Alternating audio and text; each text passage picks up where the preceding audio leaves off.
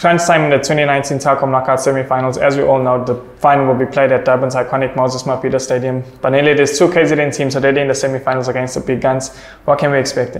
The final is at the Wembley, South Africa Wembley Stadium.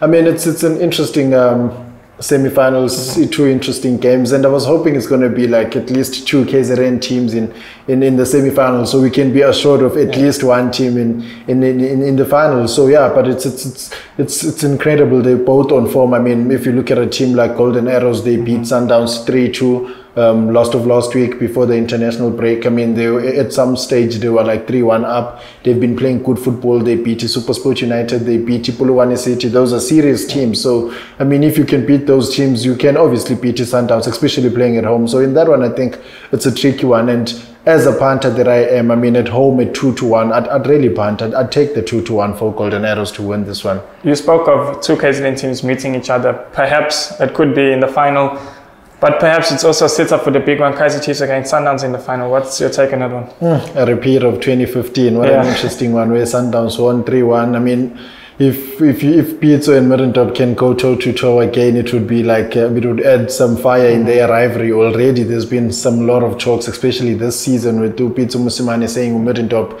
is the luckiest coach and he's been benefiting a lot from the referees. So that's a dream final for for the neutrals. But for us KZN people, we want an all KZN final.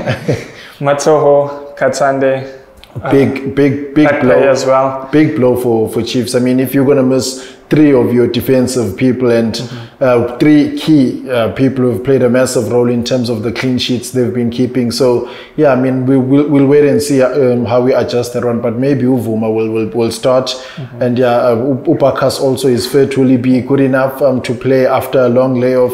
It's, it's it's it's interesting to see. But for me, I'll go for Steve Komphela and Middendorp in the final. So it's Kaizer Chiefs and uh, Golden Arrows. My my predictions for, so for the Steve final. Steve Komphela gets to face Chiefs again. Mm. That's interesting from Banele. That's what we think. Let us know what you think below. Leave your comments and don't forget to subscribe to our YouTube channel. For more soccer betting tips and previews, get the latest copy of Soccer Betting News for only 10 Rand at your nearest Hollywood Bets branch or news agent.